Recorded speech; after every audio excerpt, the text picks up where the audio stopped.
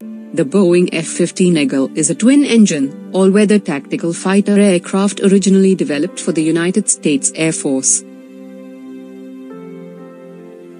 It first flew in July 1972 and entered service in 1976.